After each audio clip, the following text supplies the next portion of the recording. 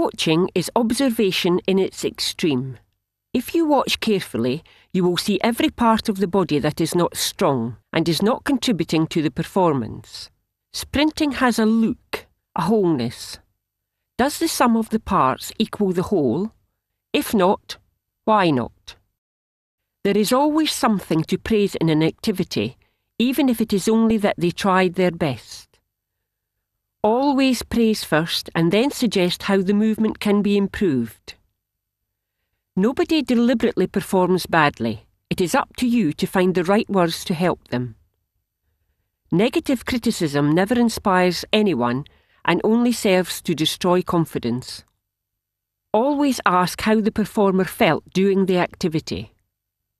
In this way, you get feedback from them and it may confirm what you saw, but not always.